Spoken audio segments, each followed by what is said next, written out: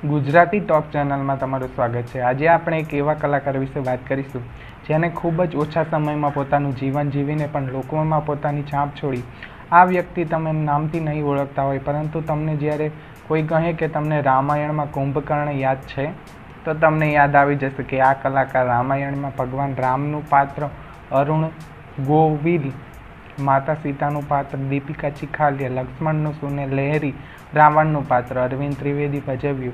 તો રાવણના ભાઈ કુંભકર્ણના પાત્રમાં આપણે નલિન દવે એ ભજવ્યું છે. નલિન દવે ગુજરાતી સિનેમાથી કરી અને પોતાના કેરિયરની શરૂઆત કરી. નલિન દવેનું પાત્ર રામાયણમાં ઘણું નાનું એવું હતું, પણ તેમને આ પાત્ર દ્વારા લોકપ્રિયતા મેળવી. રામાયણમાં એવી એક ક્ષણ એ હતી જ્યારે કુંભકર્ણનો વધ થવાનો હતો. કુંભકર્ણ તેમના મોટા ભાઈ રાવણનો સાથ આપવા માટે તૈયાર હતા.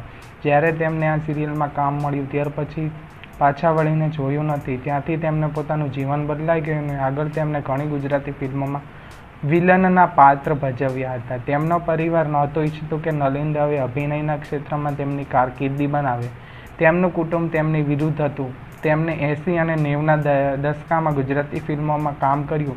અને આ સિવાય અનેક બોલિવૂડ ફિલ્મોમાં કામ કર્યું, પરંતુ તેમનું જીવન ખૂબ જ ટૂંક રહ્યું.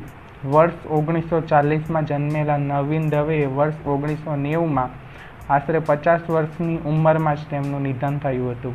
રાવણના મિત્ર એટલે કુંભકર્ણ રામાયણમાં રામ, રાવણનો રોલ અરવિંદ ત્રિવેદીએ ભજવ્યો. રામાયણમાં અરવિંદ અને નલિન દવે ભાઈ ભાઈના રોલમાં હતા. આ અસલ જીવનમાં તેમની વચ્ચે મિત્રતાનો સંબંધ હતો. રામાયણમાં નલિન દવે એન્ટ્રી અરવિંદ દિવેના, ત્રિવેદીના માધ્યમથી જ થઈ હતી. ખરેખર તેમને પોતાના અભિનય થકી ખૂબ જ લોકપ્રિયતા મેળવી. આજે ભલે તે આપણી વચ્ચે ન હોય, પરંતુ અભિનય થકી તેમનું જીવંત હંમેશા રહેશે. આ હતો આજનો વીડિયો. તમને આ વીડિયો પસંદ આવ્યો તો લાઇક કરો, શેર કરો, સબસ્ક્રાઇબ કરો. અમારી ચેનલ ગુજરાતી ટોકને મળીશું આવા જ બીજા વીડિયો સાથે.